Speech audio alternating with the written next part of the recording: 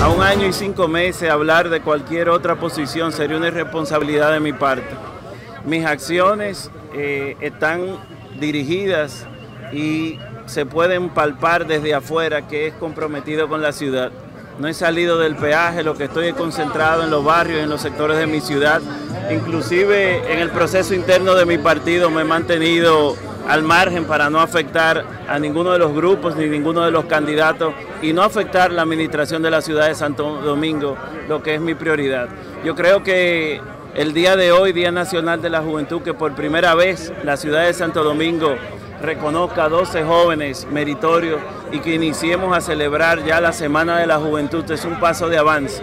La juventud debe dejar de ser eh, un cliché de que es el futuro y si no tener oportunidades y tratarla como el presente y, trabajar acorde con eso. Alcalde, pero mantenerse al margen, mantenerse al margen no es una actitud un poco eh, cuestionable cuando en estos momentos se necesita de liderazgo del PRM, están cuestionando el pacto entre Luis Abinader y Hipólito Mejía.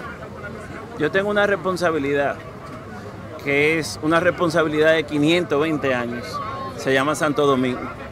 Si yo fallo en esa responsabilidad, no hay nada que valga.